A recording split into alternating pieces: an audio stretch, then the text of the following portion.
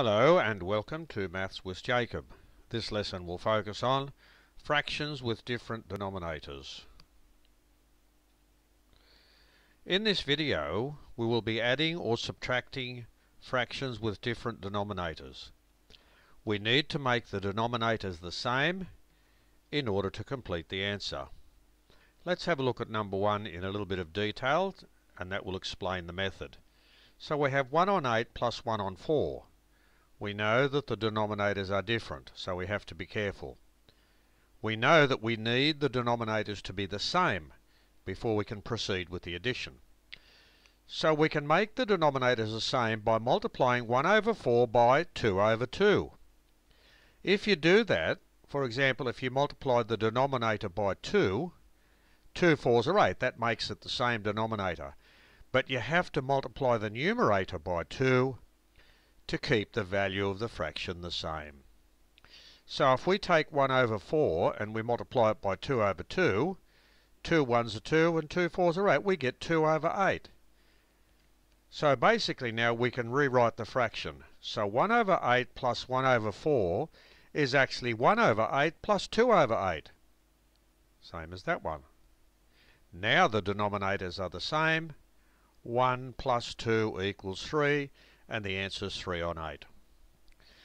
So we'll continue doing a few more examples. We'll follow this procedure but not in as much detail. Of course now we know we know the steps. We know what to do so I can shorten the working. 2 over 3 plus 1 over 9.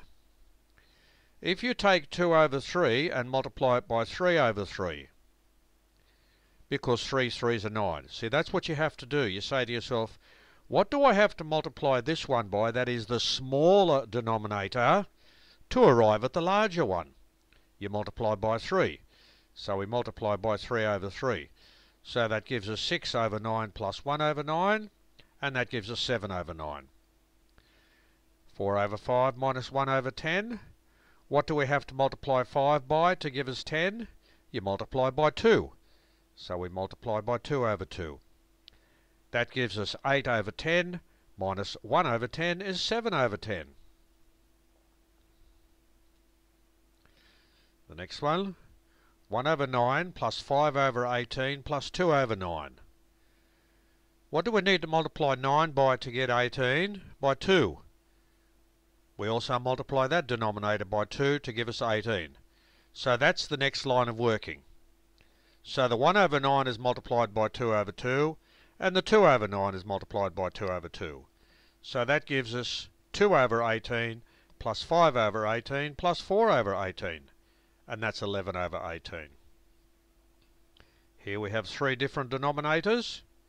What do we need to multiply the 2 by to give us 8? 4. What do we multiply the 4 by to give us 8? 2.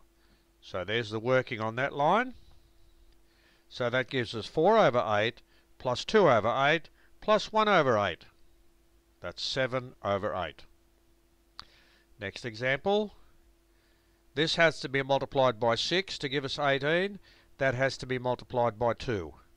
So there's the working in the next line. That gives us 6 over 18 minus 2 over 18 plus 1 over 18. 6 minus 2 is 4. 4 plus 1 is 5, so it's 5 over 18. And finally, we have 2, 4, 8, and 16. Now, to get all the denominators equal to 16, we multiply that one by 8, that one by 4, and that one by 2. There's the working there for each of those fractions. That gives us 8 over 16 minus 4 over 16 plus 2 over 16 minus 1 over 16. 8 minus 4 is 4. 4 plus 2 is 6. 6 minus 1 is 5. So this video has shown us a very straightforward procedure how to add fractions, add or subtract fractions with different denominators. The procedure is quite straightforward and if we follow it we'll get the correct answer each time.